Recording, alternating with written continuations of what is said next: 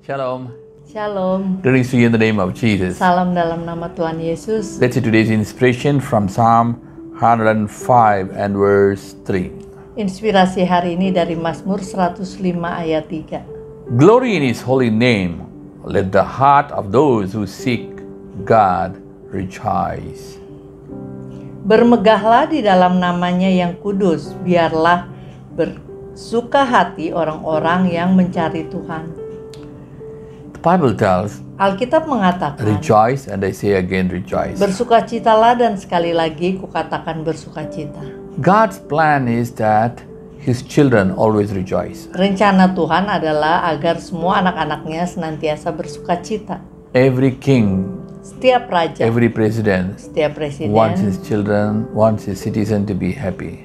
ingin agar warga warganya bergembira.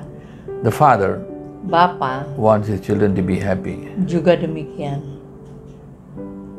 No wonder our Father wants his children to be happy. Bapa kita di surga juga menginginkan anak-anaknya bergembira, tells bersukacita. rejoice, Alkitab mengatakan say bersukacita again dan rejoice. sekali lagi kukatakan bersukacitalah. So how do we rejoice? Bagaimana kita bersukacita? Here it tells. Di sini dikatakan, What does it tell? Seek His face. carilah wajahnya. Those who seek God shall rejoice. Mereka yang mencari wajahnya akan bersukacita. Hallelujah. Haleluya. Seek Him. Carilah Tuhan. So if you seek Him, Jadi apabila engkau mencarinya, then what happens? apa yang terjadi? He will give you everything. Ia akan memberimu segalanya, He will secure you. akan mengamankanmu, He will keep you as the apple of your eye, apple of his eye. dan menjagamu seperti menjaga biji matanya. He cares for you more than anybody cares for you. Ia mempedulikan engkau lebih dari orang yang lain. So you don't need to bother about anything. Jadi engkau tidak perlu khawatir tentang apa pun. That's why David said, Itulah sebabnya Daud mengatakan, The Lord is my shepherd. Tuhan adalah gembalaku. I shall not want anything. I don't want Aku anything.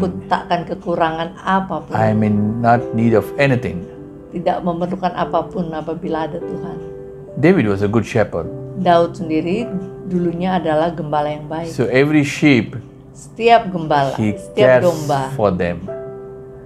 ia perhatikan. Same way, Hal yang sama, our Father Bapa kita di wants to surga care for you. ingin memperdulikan. So seek Him, Jadi carilah seek ia Him early in the morning, di pagi hari seek Him anytime. dan se- senantiasa setiap waktu. Not only when the problem comes. Bukan hanya saat ada masalah. Hallelujah. Haleluya.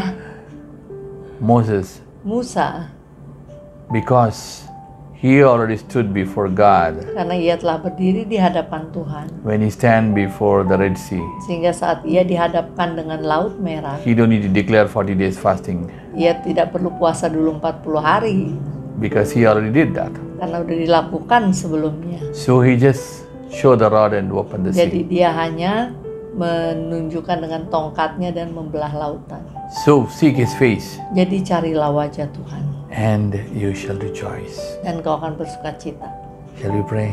Mari kita berdoa. Father, we come to you in the name of Bapa kami Jesus. datang dalam nama Tuhan Yesus. Lord, you're the God Almighty. Tuhan kaulah Tuhan yang maha besar. Lord, keep your children happy Tuhan buatlah anak-anakmu bersuka cita. because the Bible tells Karena Alkitab those who mengatakan seek you mereka yang mencarimu shall rejoice. akan bersuka cita. And it's almost like a commandment you tell rejoice, and again say rejoice. Seperti suatu perintah engkau mengatakan bersukacitalah sekali lagi kukatakan bersukacita. So help them to rejoice Jadi always. tolonglah supaya anak-anakmu senantiasa bersukacita. Remove all their problems. Hapuskan masalah mereka. In the name of Jesus, Demi we nama pray. Tuhan Yesus kami berdoa. Amen, amen. Amin. God bless you. God bless Tuhan you. Yesus memberkati.